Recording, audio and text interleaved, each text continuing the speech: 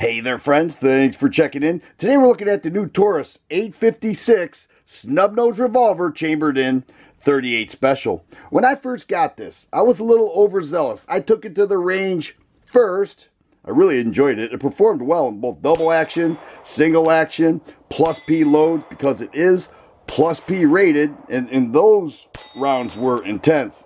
Big muzzle flash, a little extra recoil, but it handled the plus P rounds just fine, and I really did enjoy it. So I'm circling back around to the tabletop review, and I'm calling this a closer look at this revolver. Now, the greatest advantage here is that it comes with a cylinder that carries six rounds, opposed to the long-standing Taurus 85 that holds five rounds. That's where the six comes from in the 856. It's it's a copy of the Taurus 85 but they added a six for six rounds in the cylinder, and that that is an advantage. Now the MSRP on this 388, you can pick it up right in the upper 200s, mainly like 270 is what I saw, and that's what it's available for. Now there are many different color combinations. This one here is called burned orange. I I call it red. you know, it looks red to me, and that's what I wanted was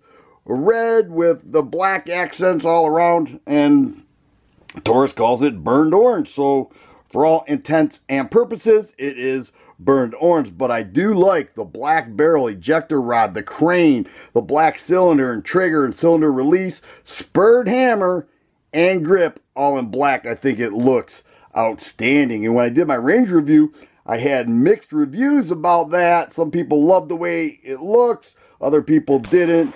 But it's a good thing that Taurus makes many different combinations. And even black in a stainless look as well is, is also available. Check out that grip.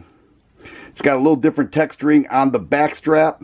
Nice grip, little finger ledge there. The pinky grasps underneath that grip. I feel total control of the revolver. It also has this ledge here you can rest your thumb on when uh, when gripping and then of course your weak side hand just kind of tucks over that keeping it out of the way of the cylinder gap.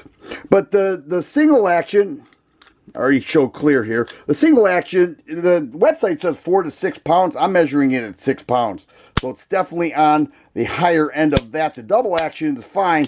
Single action right around six pounds. And the one thing it does have is a transfer bar right there. So the hammer strikes the transfer bar that then strikes the firing pin and that sets off that round. And inside here, what we're looking at is, you know, your firing pin up here, your timing hand, and your bolt lock right there. So as the as the trigger is pulled, you'll see that that bolt lock just kind of releases and the cylinder rotates counterclockwise with this revolver.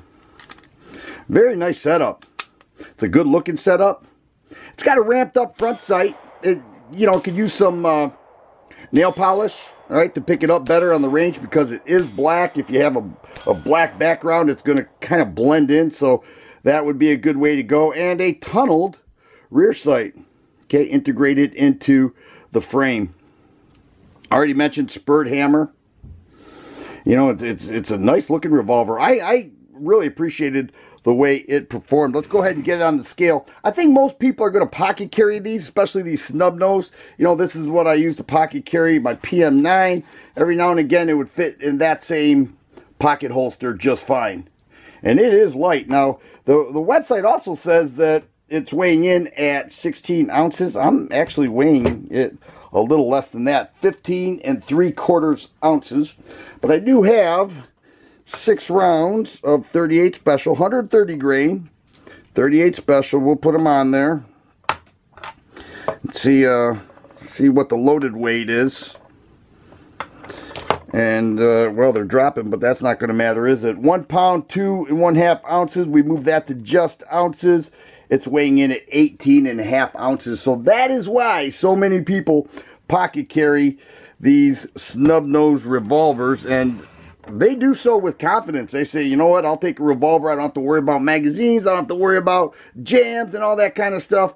there are some maintenance that needs to be done with these, but overall, it's a more simple design, and Taurus really mastered not just the looks, but the function of these. You know, it, it's got everything that I think is important for a lightweight, and it is an ultra light model, snub nose revolver, you know, with a two inch barrel, six pound single action trigger, and then the double action is not bad. It didn't take me long at all to figure it out when I was at the range. I, I felt comfortable with it, and I just felt confident that I could hit my target if needed. Here it is, guys. The new ultralight Taurus 856 snub nose revolver in 38 special. If you like videos like this, please subscribe and share.